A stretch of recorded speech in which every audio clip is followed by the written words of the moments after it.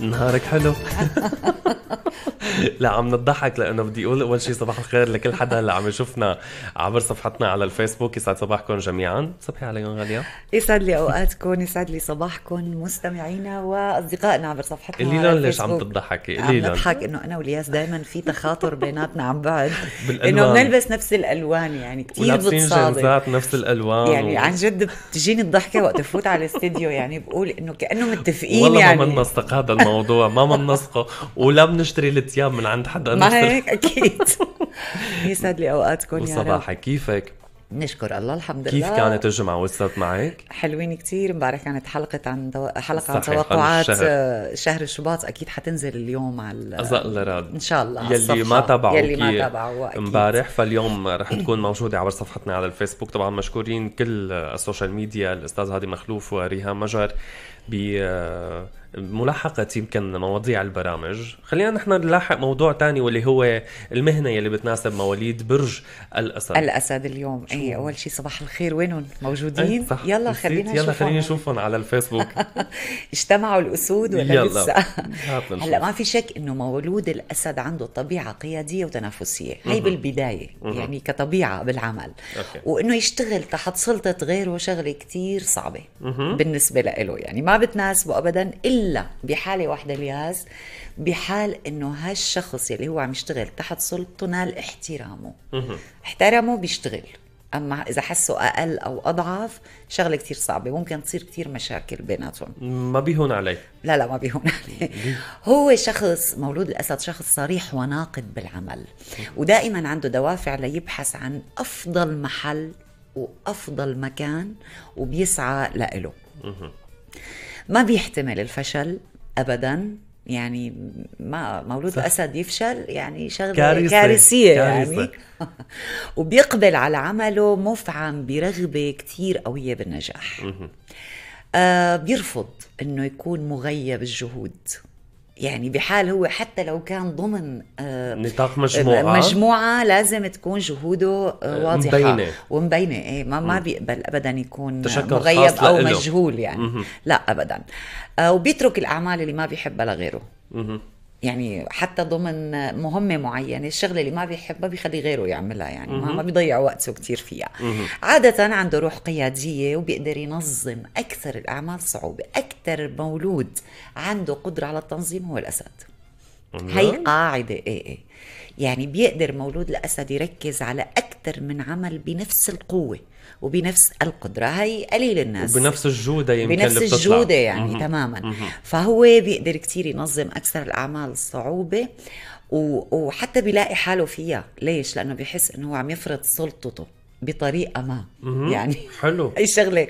يعني بت... بس برافو. يعني إيه بيقدر بهذا بيقدر الموضوع. إيه بيقدر كثير مولود الأسد. عنده قدرات كثير كبيرة. يعني دايما الشخص لما بيكون في عنده يمكن أكثر من شغلة بيساوي شغلة على حساب الثاني لا لا هو لا. هو غير. هو طبعا غير, غير. تماما. بيقدر تماما يرتب الأمور على أكمل وجه يعني.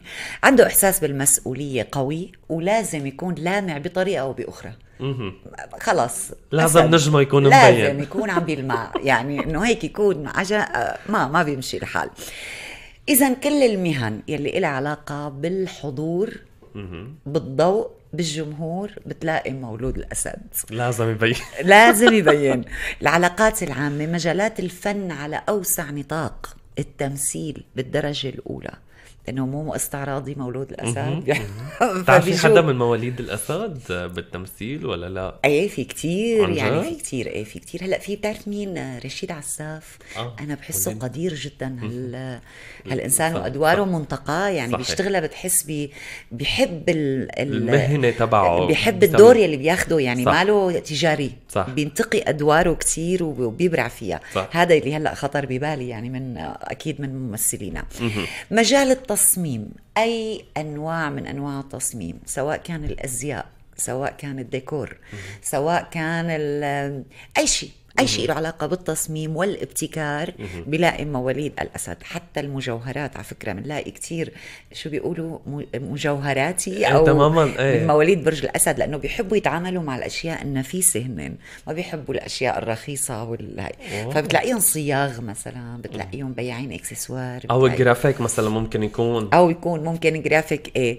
آه coiffeur آه كمان ممكن يكون إيه بحب التصميم لأن. بحب التصميم وبيعمل قصات حلوة وبيعمل موديلات حلوة وظاهرة يعني آه. بتبين بتبين, بتبين دائما وعلى مختلفة. فكره مولود الأسد له علاقة بالشعر كثير جد. يعني بغض النظر عن المهنة إنه هن كثير بيحبوا شعرهم وبيهتموا فيه.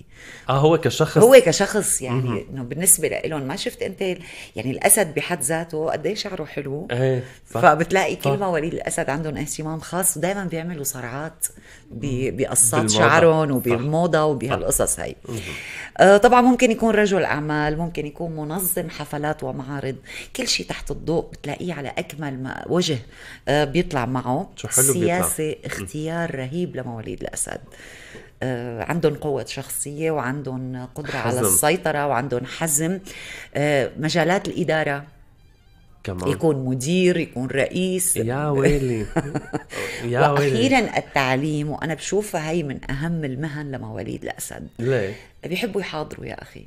بيحبوا. التنظيف بيحبوا يكون في اذان صاغيه عم يعني. ليه ليه إيه فالتعليم فبيجودوا بالسلك التعليمي يعني. عندهم إذا كانوا مدرسين جامعيين أو حتى يعني بالتعليم الأساسي تلاقيهم من ال من الأساتذة اللي لا ينسوا ما ما بيقدروا ينسوهم. لأنه بتعلم بذاكرة الشخص. بتعلم بيعلموا بذاكرة الشخص وعندهم أسلوب كتير خاص يعني كيف بيقدروا إنهم يوجهوا طلابهم يعني. التعامل مع الأطفال مسألة بالنسبة بالنسبة لهم كمان حلوة يعني بيقدروا. بيحبوا خاصة فترة المراهقة بيجيدوا التعامل مع مواليد الأسد بدها كثير خاصة تمام. هي المرحلة. تمام.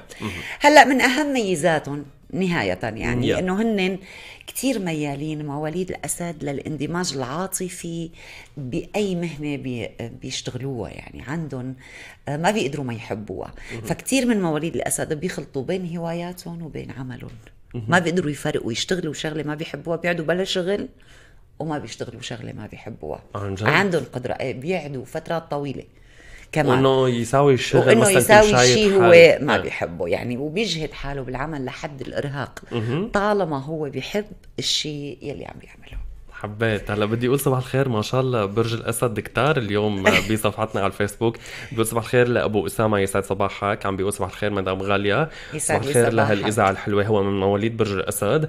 صباح الخير كمان آه، لبنان بنان. عم بتقول صباح الخير ممكن أعرف علاقة الأسد المرأة مع برج الدلو الرجل. هلا رح تسمعي أكيد هذا الجواب مع المدام غالية من خلال برنامج لكي or not بعد شوي تحياتي لكم جميعا ما شاء الله كل مواليد برج الأسد موجودين, موجودين وحاضرين بس ما حدا أيد الكلام اللي حكيناه ولا ايدوه والله ما حدا ما حدا أيد. ما حدا, ما حدا أيد. هلا في حدا أنا شفته كاتب عم بيقول يوسف راسي أبقى أتحمل مين بده يشتغل عندي. شكله من مواليد برج الأسد.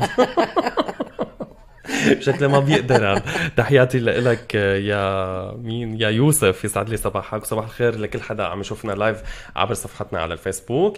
شكرا لك مدام غالية. يسعد لي وشكرا لحضورك معنا. يا هلا نهارك حلو.